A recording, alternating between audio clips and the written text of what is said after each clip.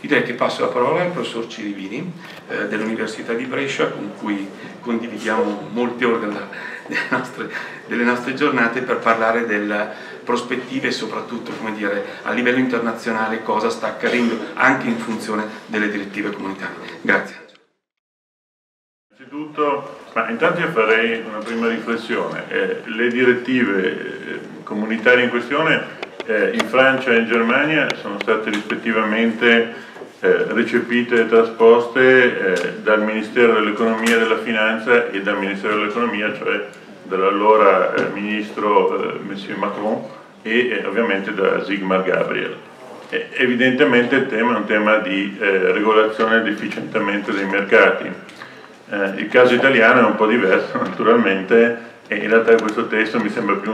giustamente peraltro, ma un testo di politica industriale, diciamo, piuttosto che semplicemente di regolazione dei mercati. Però io credo che eh, dire, la prima considerazione che noi dobbiamo fare è di che, di che, cosa stiamo parlando, nel senso di che settore è quello di cui eh, trattiamo, perché in questo settore noi abbiamo eh, Pietro Salini che con grande abilità eh, ha portato oggi il suo gruppo eh, a 6 miliardi di fatturato, eh, avvicinandosi a una soglia che è quella di 10 miliardi ragionevole sui mercati internazionali, e poi abbiamo però eh, l'artigiano che come ditta individuale gestisce nel modo in cui eh, vi lascio immaginare cinque cantieri differenti. Allora nello spazio tra Pietro Salini e l'artigiano, che probabilmente qualche illiceità la commetterà, ecco, in questo spazio noi dobbiamo ragionare. E quindi quando parliamo di cultura industriale, ovviamente questo è il punto di partenza.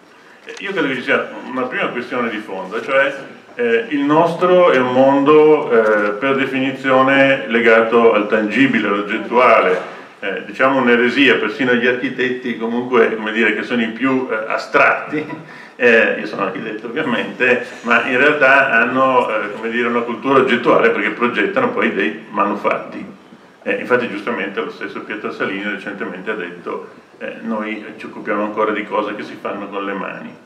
E naturalmente questa eh, dire, eh, oggettualità eh, evidentemente la ritroviamo in tutta la filosofia che oggi anima quello che giustamente il rettore di questo Politecnico chiama il futuro dipartimento eh, della prevenzione presso la Presidenza del Consiglio dei Ministri, ma che poi volgarmente viene chiamato Casa Italia.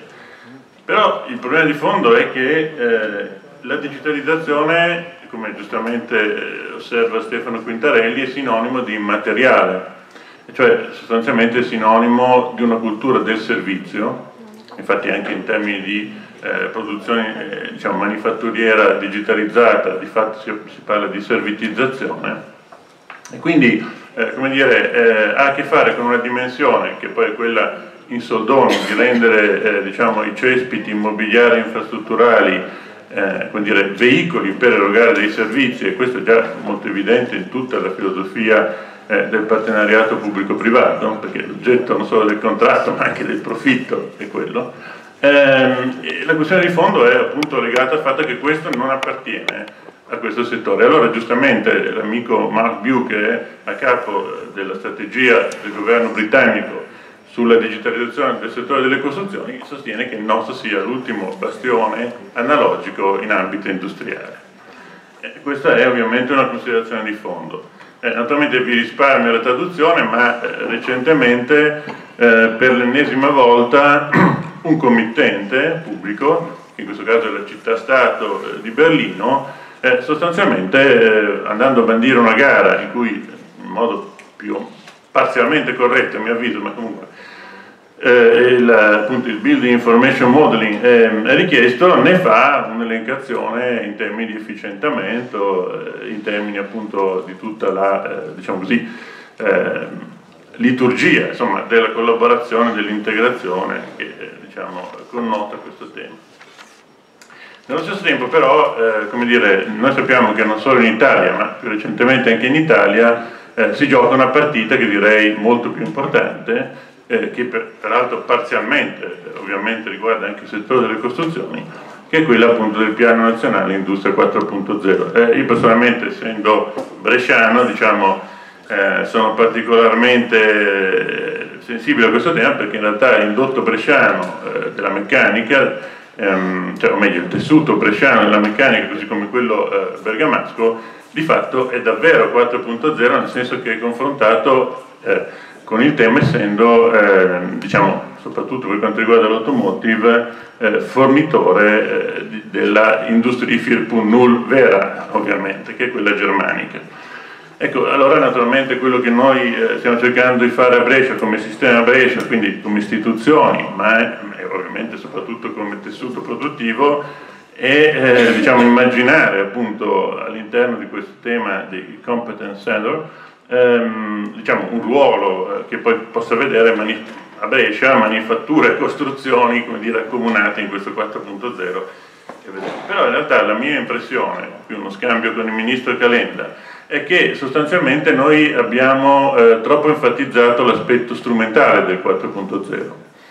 e, mm, e, naturalmente Lucimo è molto contenta, Comao si aspetta fatturati in crescita, ma la mia impressione è che ci sia un equivoco, eh, nel senso che non c'è dubbio che nella meccanica eh, l'aspetto strumentale sia importante, eh, ma eh, come dire, 4.0 è soprattutto eh, l'intelligenza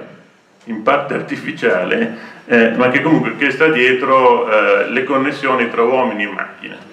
E, quindi, tra l'altro, lungo, come vedremo, la catena di fornitura. È ovvio che, come dire, eh, il commissario comunitario Oettinger, che è effettivamente la persona più sensibile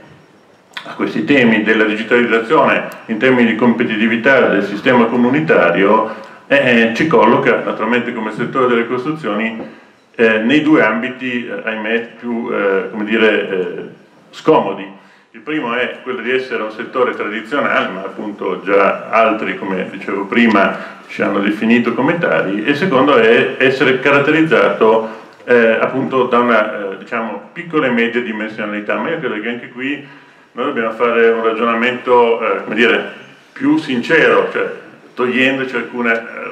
una parte della cera. E il fatto è che sostanzialmente noi non siamo un settore caratterizzato dalle piccole e medie imprese, siamo un settore caratterizzato dalle microimprese. E questo è un dramma. Ovviamente sia sul versante della domanda, dove peraltro i processi aggregativi sono in corso, sia sul versante dell'offerta, eh, questo è uno degli elementi delle sfide 4.0, questo era anche, mi sembra, un elemento che eh, FIRPO, il Ministero eh, dello Sviluppo Economico, volesse valorizzare in termini di incentivi, non solo i superammortamenti ai macchinari. E certo, ovviamente avere centrali di committenza, avere altre forme aggregate, eh, soggetti aggregatori e quant'altro può moltiplicare anche dire, il potenziale corruttivo. Però eh, mi sembra una via obbligata se noi vogliamo fare dei ragionamenti nella direzione diciamo, di una cultura industriale, della digitalizzazione e quindi ovviamente diciamo, della, eh, non del contrasto alla corruzione ma appunto dell'efficientamento dei mercati come mi sembra Anna che spesso ripeta, cioè, diciamo, agire sugli elementi culturali, innanzitutto sociali e culturali. Ma io credo che il problema, dicevo prima, eh, di questo settore è che è un settore che ha un immaginario troppo materiale, troppo tangibile, eh, perché vediamo qui questi pesci, non solo perché è appena uscito Dori, anzi il ritorno di Dori, ma perché sostanzialmente come molto tempo fa eh, affermava Adolf Loos, uno dei grandi architetti eh, tra 8 e 900, qui è riportata una testimonianza della sua terza moglie, Claire Beck, eh, cioè sostanzialmente Loos eh, si reca in cantiere e dice bene al cliente in questo punto lei passerà eh, diciamo, i momenti migliori della sua vita nel suo appartamento perché potrà contemplare l'acquario e il cliente ovviamente è sconcertato da questo Loss evidentemente aveva un immaginario immateriale. Ma eh, appunto dicevo con Mark View eh, in, in, varie sedi internazionali diciamo costantemente ragioniamo, eh, ovviamente eh, siamo sempre confrontati con quegli estremi di cui parlavo prima. Da una parte abbiamo eh, un processo di efficientamento diciamo, di questo settore che purtroppo non è resiliente ma è resistente, eh, molti l'hanno definito il, il, il settore eh, reluctant industry, cioè il settore riluttante, è un settore che è impegnato da cent'anni a contrastare, devo dire, efficacemente la cultura industriale. un grande successo e, e, quindi sostanzialmente noi da una parte dobbiamo dire, vedere dei grandi traguardi che appunto eh, i britannici hanno ormai individuato come Digital Build Britain e, hanno, e il vecchio eh, cancelliere Osborne ha comunque stanziato 15 milioni di sterline nei prossimi 5 anni per questo, ma poi eh, la sfida vera che è quella di digitalizzare un tessuto minuto.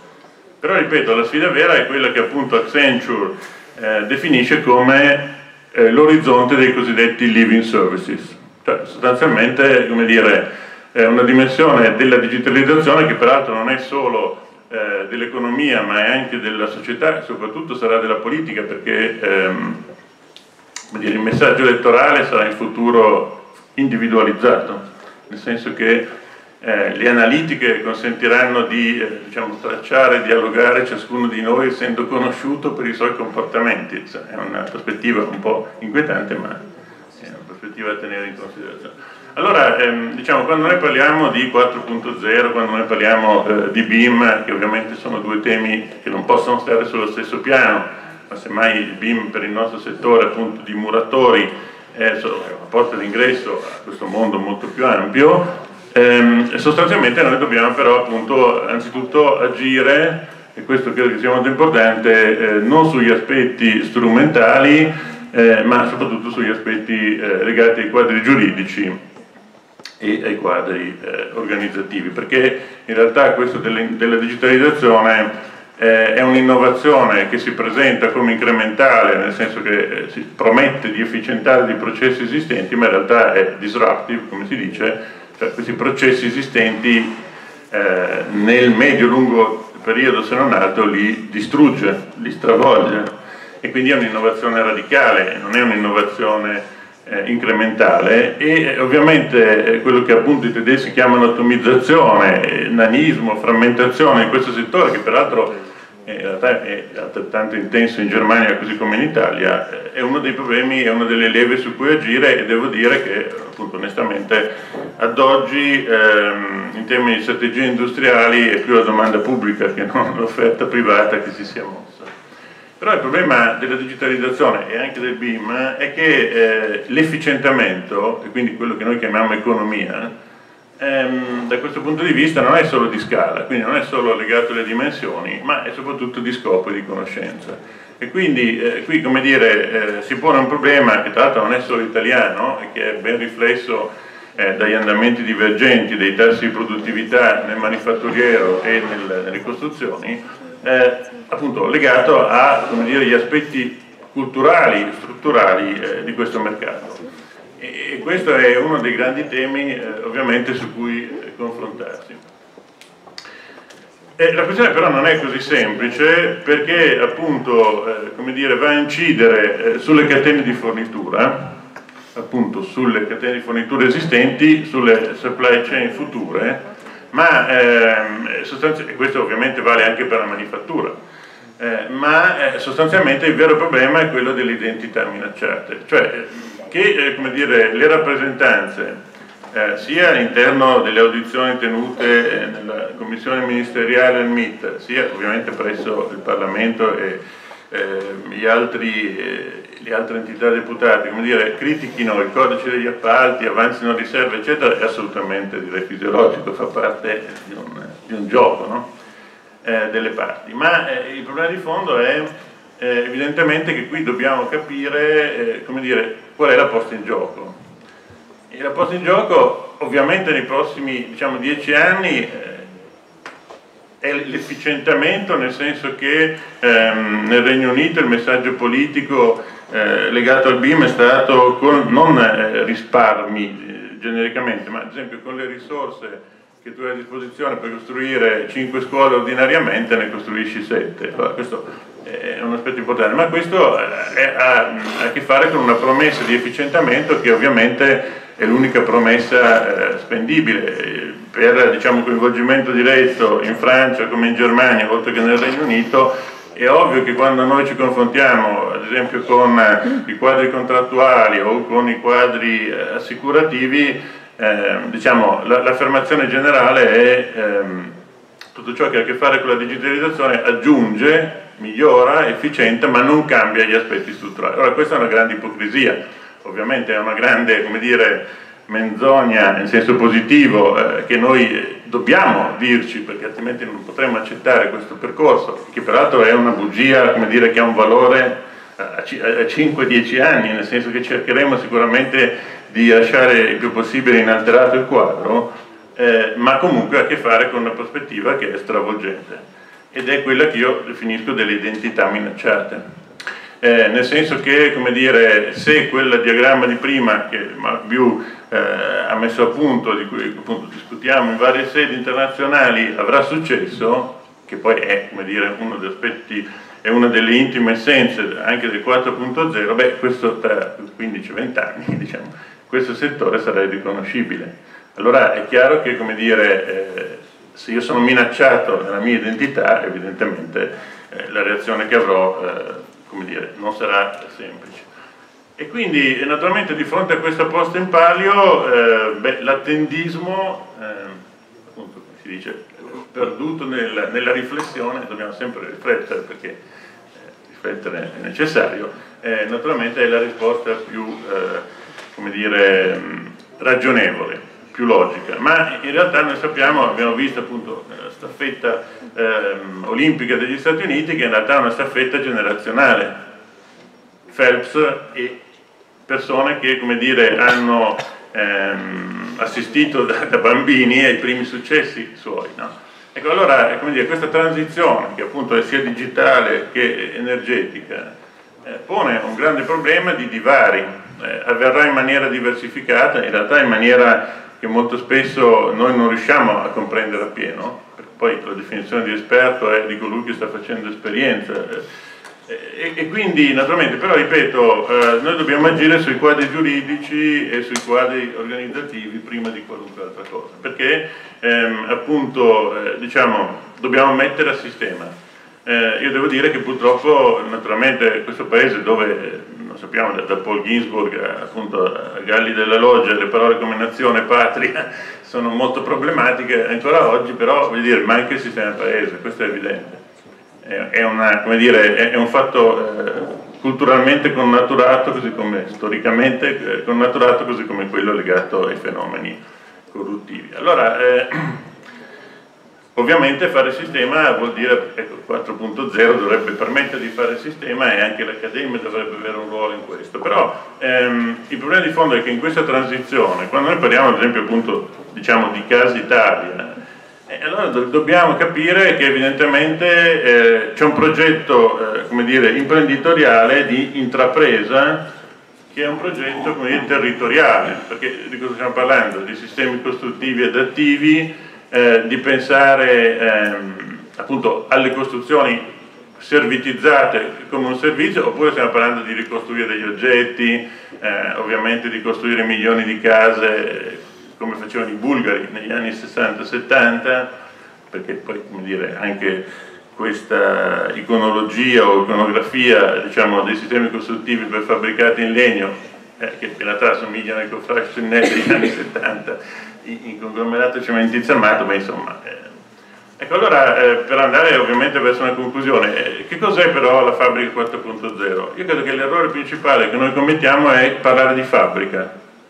eh, ma in realtà il 4.0 non è una fabbrica, è quello che appunto eh, i tedeschi chiamano di Vernetzung, cioè la rete è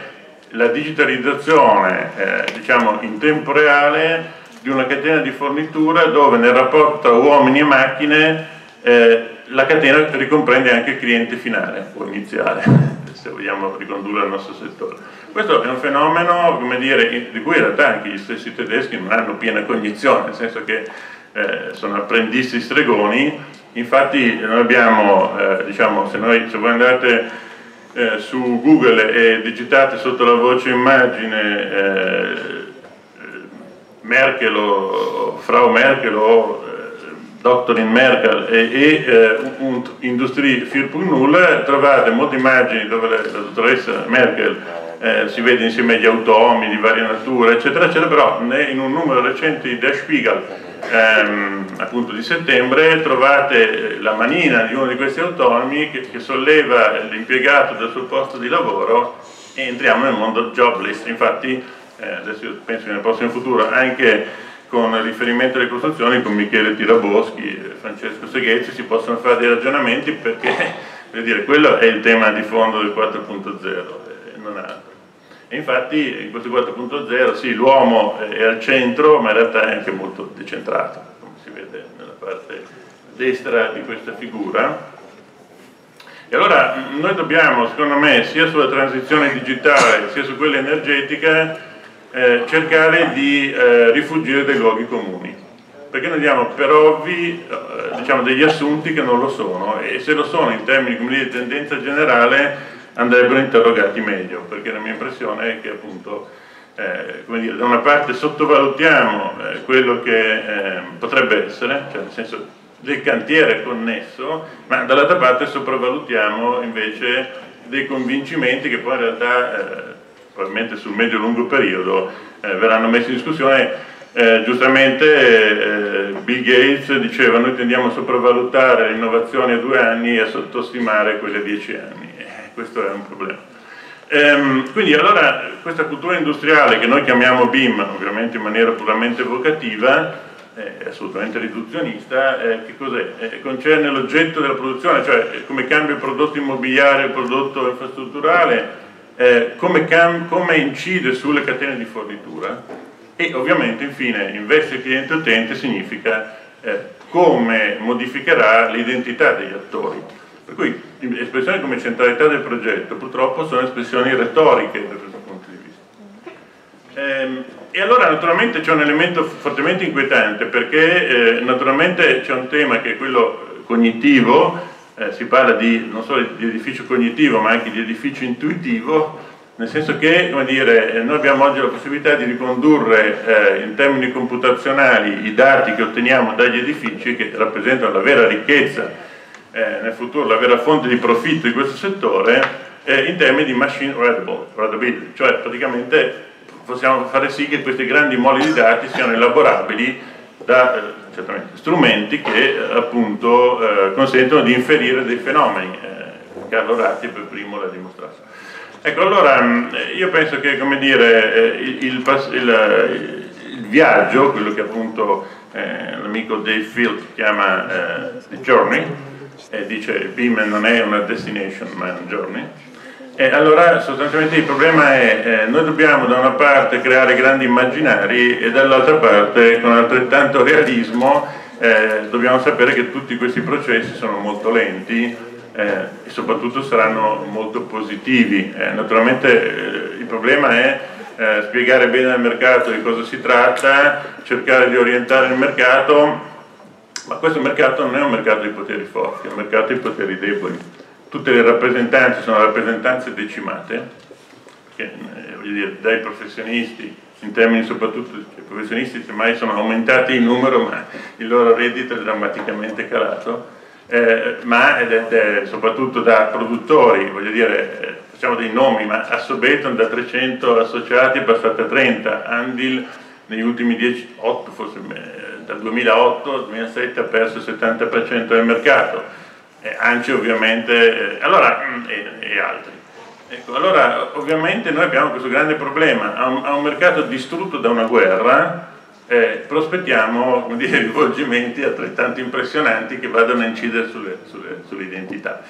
È ovvio che questo mercato, come dire, o eh, è inconsapevole di tutto questo, e allora forse qualche cosa possiamo ottenere oppure eh, se non eh, diciamo così, creiamo eh, un'iniziativa sistemica beh, questo mercato lo metteremo ancora più in difficoltà. Eh, ANCE recentemente ha promosso una filiera unitaria delle costruzioni. Eh, in questa filiera io credo che il tavolo della digitalizzazione debba avere un ruolo importante però veramente dobbiamo ragionare in termini sistemici. In un paese dove non ci sono eh, diciamo, grandi player che possono orientarlo, eh, come le società di servizi di ingegneria nel Regno Unito o le grandi imprese di costruzione in Francia, che devo dire per esperienza diretta, eh, decidono il mercato e lo fanno insieme. Questo, beh, naturalmente potremmo chiamarlo logica di cartello, potremmo chiamarlo oligopolio, ma insomma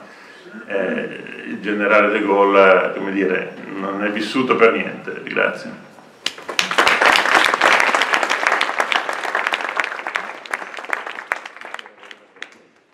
Ringrazio il professor Ciribini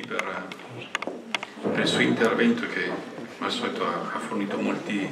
molti, spunti di riflessione su, sulle commistioni che il settore delle costruzioni inizia ad avere con, con altri settori, quelli della, della meccanica ma non, non solo, insomma, e delle prospettive che a livello europeo si stanno, si stanno prendendo.